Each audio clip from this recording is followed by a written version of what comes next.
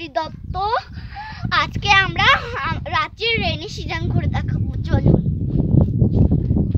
দেখুন, আমরা মাউন্টেনে এসেছি, আর আমরা অনেক দিন পরে এসেছি।